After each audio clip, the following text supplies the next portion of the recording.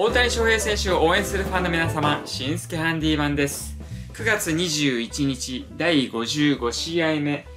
対戦する相手チームはテキサスレンジャーズです。大谷翔平選手は5番 DH で出場です。今日の大谷翔平選手は2打数の0、2つのフォアボールで、え2得点、えー、今日はですね、大谷翔平選手が出塁すればエンゼルスが得点を入れるというような、えー、形になりました。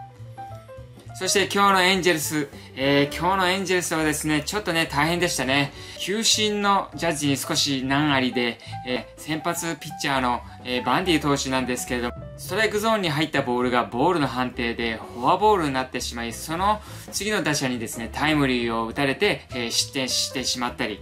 またはですね、大谷翔平選手の時もですね、逆球のボール球だったんですけれども、ストライクのコールをされたりですね、えー、極めつけはですね、えー、アンソニー・レンドン選手だったんですけれども、えー、高めのね、えボール球だったんですけれども、ストライクのコールで三振になってしまうわけなんですけれども、えそれに納得いかなかったレンドン選手はですね、まあちょっとね、違うよというようなね、仕草をしただけでもう退場と。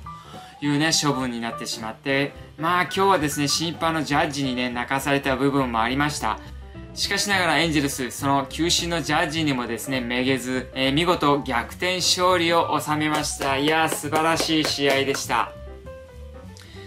えー、3回までですね、1対3のね、2点のビハインドだったんですけども、えー、4回の攻撃、エンジェルスの打線が爆発してですね、打者一巡の猛攻で一挙に7点を入れてですね、えー、見事逆転をして、えー、そのまま逃げ切り、えー、勝利したというね、まあスカッとしたね、え試合になりました。いや、素晴らしい逆転勝利です。そして今日のエンジェルスの活躍した選手はまた、ジャレッド・ウォルシュ選手です。え4打数の1安打で値千金のグランドスラムの満塁ホームランを打って、えエンゼルスの勝利に貢献しました。ジャレッド・ウォルシュ選手のね、すごいとこはですね、ここ15試合で8本のホームラン、そして、えー、打点が23、そして今日もヒットを打ってですね、えー、自身の記録、連続安打記録をですね、13ゲームに伸ばしました。いや、素晴らしい活躍です。いや、本当にね、連日のね、活躍でね、本当に、えー、ジャレット・ウォルフ選手、すごい成長しましたね。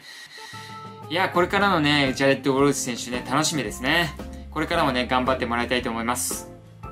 そして2人目はですね、フレッチャー選手。えー、5打数の2安打でエンジェルスの勝利に貢献しております。打率の方もですね、3割をキープしてます。そして最後にスタッシー選手ですね。スタッシー選手も5打数の2安打で打点2を挙げて、エンジェルスの勝利に貢献しております。で、ここにはですね、書いてないですけれども、ピッチャーの今日はですね、クローザーを、えー、務めた、えー、マイク・マイヤーズ投手ですね、えー、2回をしっかり投げて、え0点を抑えて、三振3つを取って、今日はですね、セーブポイントを1獲得しております。いや、マイク・マイヤーズ投手、最近いいピッチングをして、えー、クローザーにね、えー、抜擢されました。いや、ナイスピッチングでした。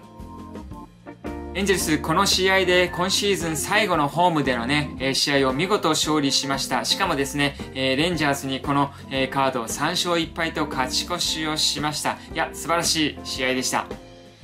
そしてエンジェルス、明日も試合があります。明日はですね、アウェーの試合でサンディエゴパドレスとの試合となります。明日の先発予定はグリフィン・キャニング投手となっております。グリフィン・キャニング投手先日ね、えー、今季初勝利を挙げましたので、この調子をですね、維持して、明日もですね、頑張って投げてもらいたいと思います。そして大谷翔平選手、えー、明日のサンディエゴパドレスの相手のピッチャー、右ピッチャーなので、えー、出る可能性が、えー、大です。なので、え大谷翔平選手のですね、明日の活躍にもですね、期待したいと思います。